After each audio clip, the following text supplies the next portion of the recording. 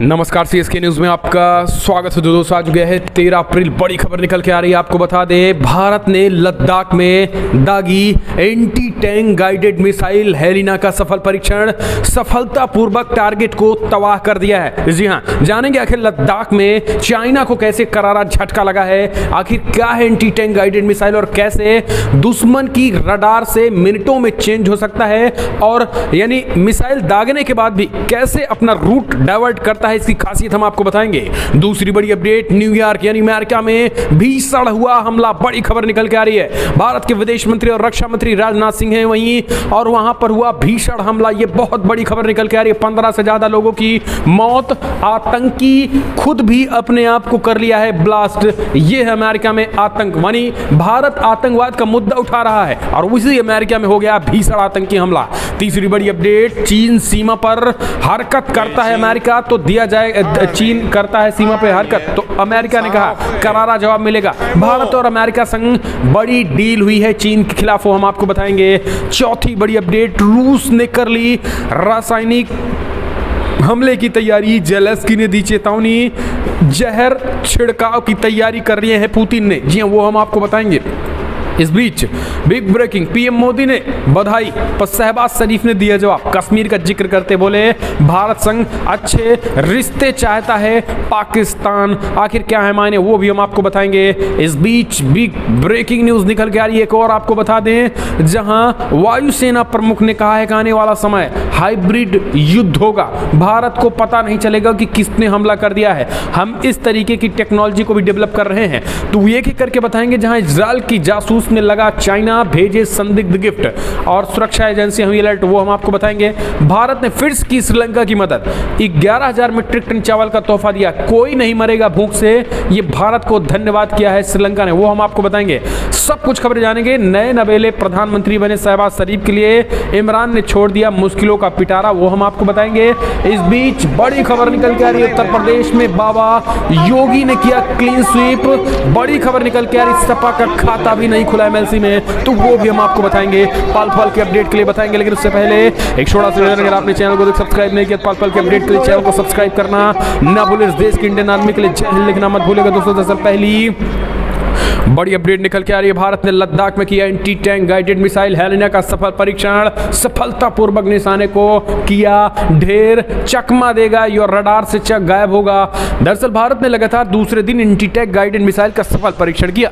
मंगलवार को anti tank guided missile Helina का सफल परीक्षण किया गया है। इस मिसाइल का परीक्षण एडवांस लाइट हेलीकॉप्टर द्वारा ऊंचाई, लद्दाख के ऊंचाई वाले क्षेत्र में किया जाएगा, जो पूरी तरीके से कामयाब है। रक्षा अनुसंधान और विकास संगठन डीआरडीओ के अधिकारियों ने इसको परीक्षण के दौरान मिसाइल ने एक नकली टैंक को सफलतापूर्वक ढेर कर दिया। इससे पहले रक्षा मंत्रालय ने सोमवार को बताया है कि भारत ने आज उच्च ऊंचाई पर एडवांस लाइट हेलीकॉप्टर से स्वदेश में निर्मित anti tank guided missile Helina का सफलतापूर्वक परीक्षण किया है, जिनमें हेलीकॉप्टर के साथ हथियार का एकीकृत मार्ग भी प्रस्तुत है। दरअसल ये हेलीकॉप्टर में लगा रहता है। इसकी मानक जिसकी जो रेंज है, वो आठ से दस किलोमीटर है। लेकिन दोस्तों, आपको बता दें, ये आठ से दस किलोमीटर भले ही है लेकिन इसकी खासियत यह है कि किसी भी तरीके से रडार में पहले तो नहीं आएगा ये मिसाइल। दूसरा, मिसाइल लॉन्च होने के बाद भी इसके टारगेट को बदला जा सकता है। यानी सपोज़ द चाइना पे किसी टारगेट को हमला करना है और वो लक्ष्य जो है वहाँ से हट गया है।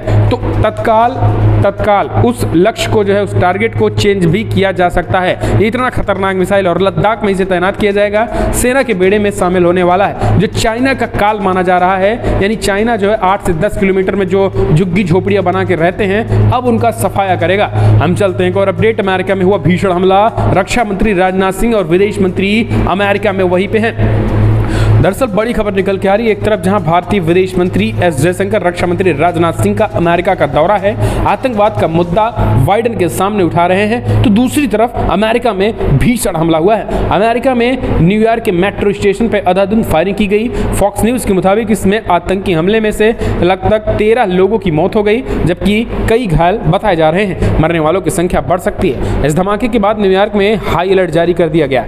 बताया जा रहा है कि मेट्रो स्टेशन पर विस्फोटक भी मिले हैं। सभी स्टेशन और सबवे पर पुलिस की तैनाती कर दी गई। वहीं न्यूयॉर्क से एक संदिग्ध को हिरासत में लेने की भी खबर है। बताया जा रहा है कि बुल्किन मेट्रो स्टेशन पर यह आतंकी हमला हुआ है।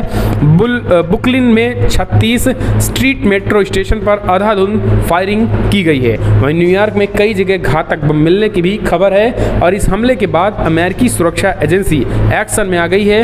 न्यूयॉर्क पुलिस और एफबीआई जाँच में जुट गई है। तो ये बेहद बड़ी खबर निकल के आ रही है। आपको बता दें ये लगभग लगभग बात करें तो पंद्रह से ज़्यादा लोगों की मौत हो चुकी है और यहाँ पर स्वयं जिस आतंकी ने उड़ाया था वो स्वयं भी मारा जा चुका है। लेकिन सबसे बड़ी बात यह है कि वर्तमान में अमेरिका भारतीय विदेश मंत्री एस जयशंकर, रक्षा मंत्री राजनाथ सिंह वहाँ फंसे हुए हैं। अमेरिका में ही हैं, हालाँकि वो कुछ दूरी पे हैं, लेकिन जहाँ ये हमला हुआ है। हम चलते हैं एक और अपडेट लेते हैं। बिग ब्रेकिंग निकल के आ रही है। रशिया ने कर ली रासायनिक हमले की तैयारी। यूक्रेन के तमाम शहरों पर छिड़कने वाला वाला है, जहरीला जहर हेलीकॉप्टर से जहर छिड़कने की तैयारी कर ली है। बड़ी खबर निकल के आ रही है रासायनिक हमले। की नदी चेतावनी, कुछ नहीं किया तो हो जाएगा अनर्थ, अगर कुछ हुआ तो। दरअसल रूस और यूक्रेन के बीच युद्ध पर रासायनिक हथियारों के इस्तेमाल का खतरा मंडराने लगा है। यूक्रेनी राष्ट्रपति व्लादिमीर जेलेस्की ने सोमवार को आगाह किया है कि रूस यूक्रेन के खिलाफ रासायनिक हथियारों का इस्तेमाल कर सकता है। मंगलवार को उन्होंने मीडिया से बातचीत करते हुए कहा है कि कड़े प्रतिबंध लगाने का आह्वान किया। जेलेस्की की चेतावनी ऐसे समय पर आई है, जब कुछ अपुष्ट रिपोर्ट में कहा जा रहा है कि दक्षिणी यूक्रेन के मॉरियोपोल में रासायनिक हथियारों का इस्तेमाल किया गया था। जेलेस्की ने अपने वीडियो संदेश में कहा है कि हम इसे बेहद गंभीरता से ले रहे हैं। उन्होंने कहा है कि मैं दुनिया भर भर के नेताओं को याद दिलाना चाहता हूँ कि रूस द्वारा रासायनिक हथियारों के संभावित इस्तेमाल पर पहले ही चर्चा हो चुकी है। उस समय इसका मतलब था कि रूसी आक्रामकता पर अधिक कठोर और तेज प्रतिक्रिया करना बेहद ज़रूरी है और यही कारण है कि इस पर एक तरीके से चेतावनी दी है। हम चलते हैं और अपडेट लेते हैं। बड़ी खबर निकल के आ रही है। दोस्तों, आपको बता दें, प्रधानमंत्री मोदी की बधाई पर शहबाज शरीफ ने दिया जवाब। बोले, कश्मीर का ज़िक्र करते हुए भारत संघ अच्छे रिश्ते चाहते हैं। यानी शहबाज शहबाज शरीफ ने भारत संग अच्छे रिश्ते के लिए वो गिड़गिड़ा रहे हैं। पाकिस्तान के नए पीएम शहबाज शरीफ की एकदम बोली ही बदल गई। जब पीएम मोदी ने जम्मू कश्मीर को लेकर करारा जवाब दे दिया और आतंकवाद के मुद्दे पर उन्होंने दो टुक कह दी, जिसके बाद से पाकिस्तान के प्रधानमंत्री शहबाज शरीफ मोदी जी से कहने लगे कि बधाई के लिए प्रधानमंत्री नरेंद्र मोदी जी धन्यवाद। पाकिस्तान भारत के साथ शांतिपूर्ण और सहयोगी रिश्ते चाहता है। जम्मू कश्मीर सहित अन्य लंबित विवादों का शांतिपूर्ण समाधान भी ज़रूरी है। आतंकवाद से लड़ाई में पाकिस्तान की कुर्बानी का सबको पता है। आइए शांति की सुरक्षा करें और अपने लोगों के सामाजिक और आर्थिक विकास पर ध्यान दें। यानी आतंकवाद की लड़ाई के लिए पाकिस्तान के प्रधानमंत्री का कहना है कि हमने भी कुर्बानियाँ दी। लेकिन जम्मू कश्मीर की कुर्बानी को शायद वो भूल गए हैं। हम चलते हैं और अपडेट लेते हैं। बड़ी खबर निकल के आ रही है। दोस्तों, आपको बता दें, जहाँ इसराइल में इसराइल में भेजे चीन ने अपने जासूस संदिग्ध गिफ्ट भी भेजे हैं। वैसे सुरक्षा एजेंसी अलर्ट दरअसल चीन ने इजरायली मंत्री को दिए एक गिफ्ट में बगिंग डिवाइस छिपाया था। इसे लेकर इसराइल ने जाँच शुरू कर दी है। दरअसल हैरेज की एक रिपोर्ट बताती है कि इसराइल शिन बेट सुरक्षा सेवा इस बात की जाँच कर रही है कि क्या चाइना ने संदिग्ध सामग्री पाए जाने वाले गिफ्ट की नियमित जाँच के बाद एक इजरायली मंत्री को उपहार में दिए गए थर्मल कप में निगरानी उपकरण छुपाया था। कप का चीनी दूतावास से, से साइंस टेक्नोलॉजी और स्पेस मंत्री पोरित परकश इकोन को भेजा गया था। सुरक्षा एजेंसियों ने कहा है कि घटना की जाँच की जा रही है। संस्कृति और खेल मंत्रालय ने बताया है कि चीनी दूतावास से एक संदेश मिला है जिसमें कहा गया है कि वो एक कप मंगलवार को आने की उम्मीद है। तो ये एक बड़ी खबर। हम चलते हैं एक और अपडेट लेते दोस्तों। बिग ब्रेकिंग निकल के आ रही है जहाँ पर चाइना के खिलाफ अमेरिका ने किया बड़ा ऐलान। बोले, भारत के साथ की बड़ी डील कहा चाइना को एल या लद्दाख समेत भारतीय सीमा पर अगर किसी भी तरीके से हरकत की तो करारा जवाब देगा अमेरिका भी। अमेरिका रक्षा मंत्री लॉर्ड ऑस्टिन ने, रक्षा मंत्री राजनाथ सिंह से टू प्लस टू वार्ता के बीच कहा है कि भारत अमेरिका जो है भारत की संप्रभुता की रक्षा के लिए हमेशा उसके साथ खड़ा रहेगा। भारत और अमेरिका के बीच टू प्लस टू मंत्री स्तरीय वार्ता के दौरान यह दावा किया गया है। लॉर्ड ऑस्टिन ने कहा है कि भारत की उत्तरी सीमा पर चीन का खतरा है। अगर इस इलाके में चाइना किसी प्रकार की उग्र रणनीति अपनाता है तो अमेरिका भारत के साथ खड़ा होगा और न केवल खड़ा होगा, बल्कि चाइना को करारा जवाब भी देगा। रूस के खिलाफ भारत के तटस्थ रवैये के बाद अमेरिकी रक्षा मंत्री का यह बयान सामने आया है। इससे पहले अमेरिकी राष्ट्रपति जो बाइडेन और प्रधानमंत्री नरेंद्र मोदी के बीच वर्चुअली बैठक में रूस यूक्रेन युद्ध का मुद्दा भी उठा था। अमेरिका भारत पर रूस के साथ व्यापारिक संबंधों को कम करने की बात कर रहा है।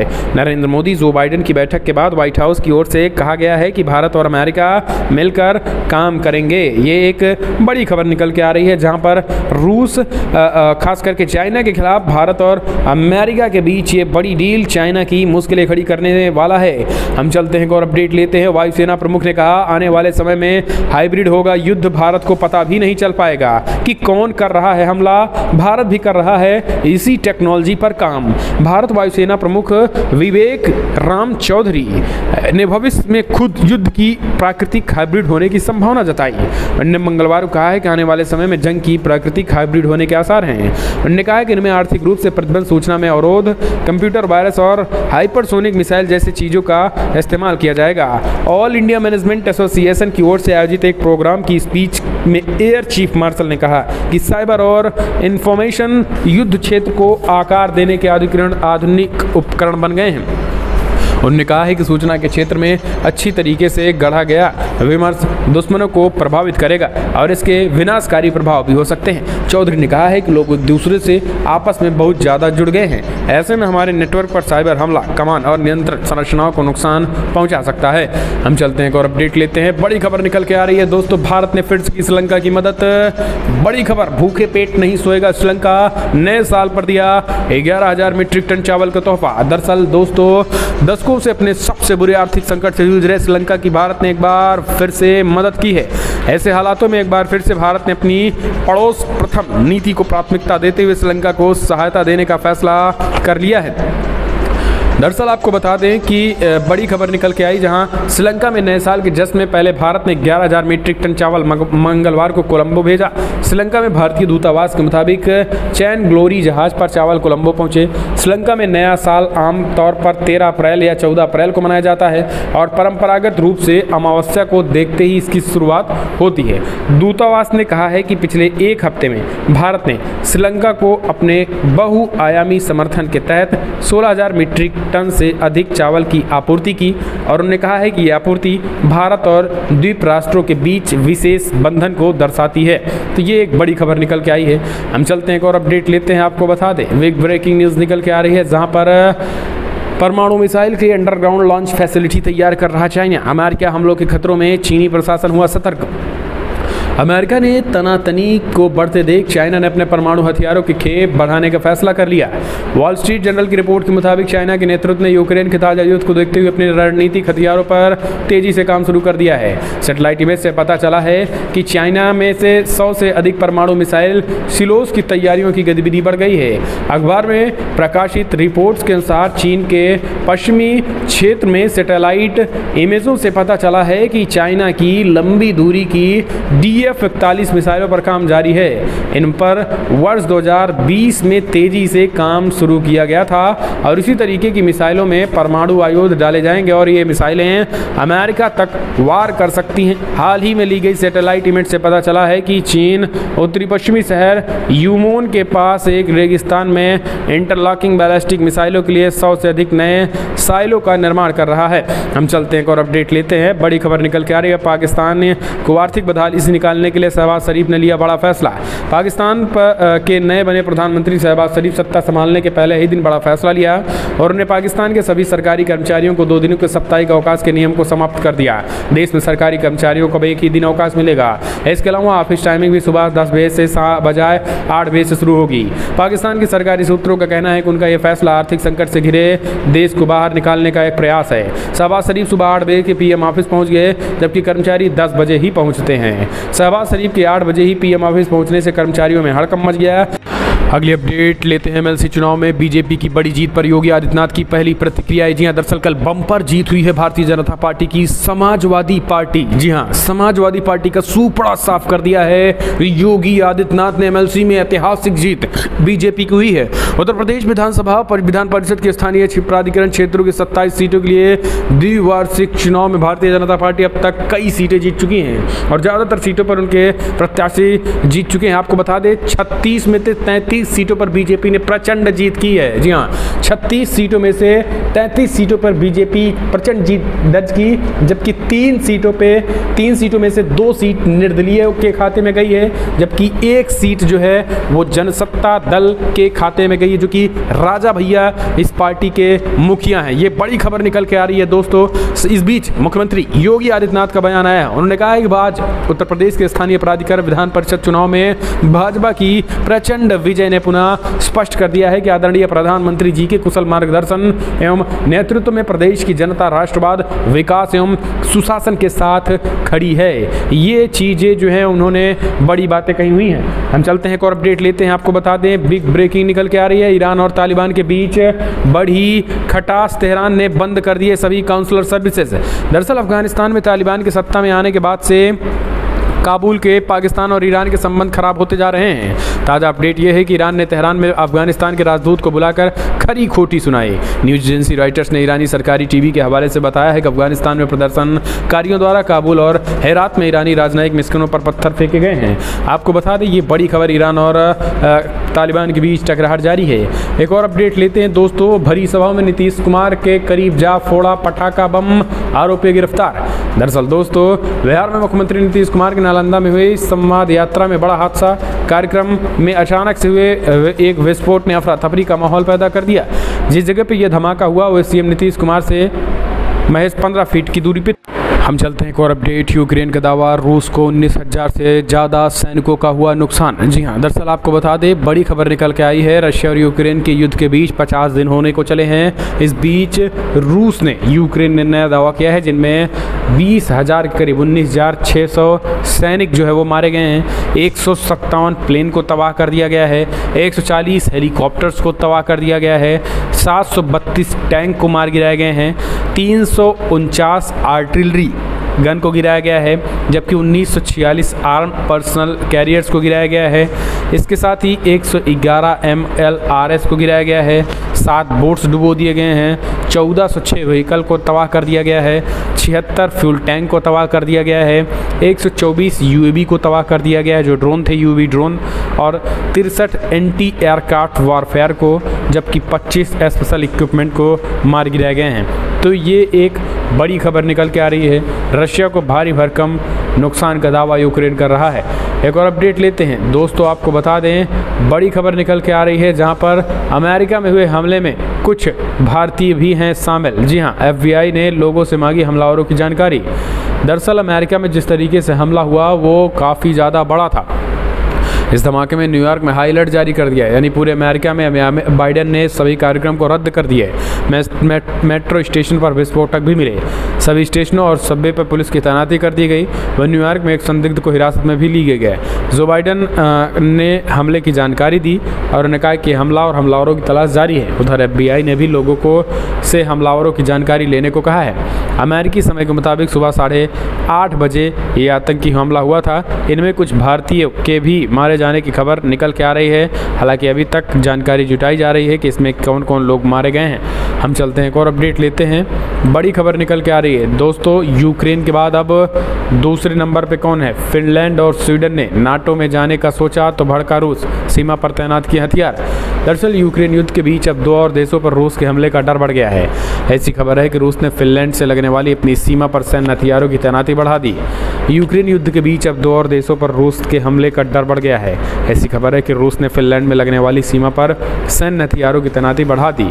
इसके पीछे की वजह कहा जा रहा है कि फिनलैंड और स्वीडन, यानी नेटो, अमेरिकी नेतृत्व वाला संगठन गठबंधन शामिल होने पर विचार कर रहा है। इसलिए रूस ने यह कदम उठाया है। उसने जो भारी हथियार तैनात किए गए हैं, उनमें मिसाइल सिस्टम भी शामिल है।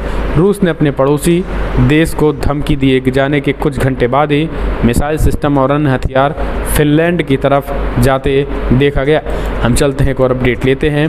बड़ी खबर निकल के आ रही है, एक और आपको बता दें दोस्तों, जहाँ ये हमने आपको बताया, इस बीच भारत में जानलेवा हुआ हवा। जी हाँ बड़े शहरों में वायु प्रदूषण के चलते कम उम्र में ही लाखों लोगों की मौत, एसटीडी में दावा।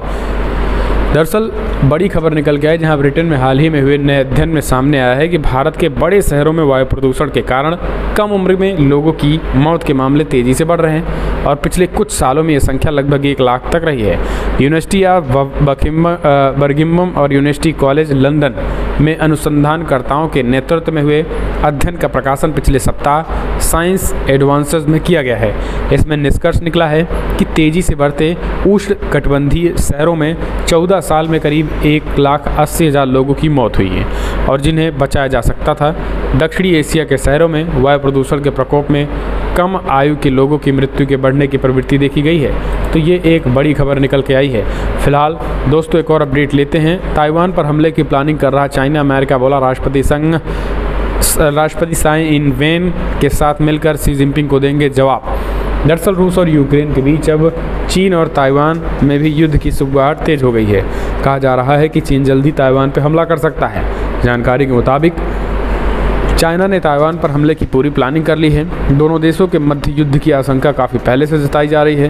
कहा जा रहा है कि चाइना, राष्ट्रपति सी जिनपिंग ने ताइवान पर हमले की पूरी तैयारी कर रखी है और इस पर अमेरिका का अब बयान सामने आया है। अमेरिका ने कहा है कि ताइवान पर चीन के हमले के बाद अमेरिका ताइवान का पूरा सहयोग करेगा और हर संभव मदद भी देगा। तो बड़ी खबरों में इतना ही, लेकिन अगर आपको वीडियो पसंद आया तो लाइक करें, शेयर करें पल पल के अपडेट के लिए चैनल को सब्सक्राइब करना ना भूलें। इस वीडियो में इतना ही।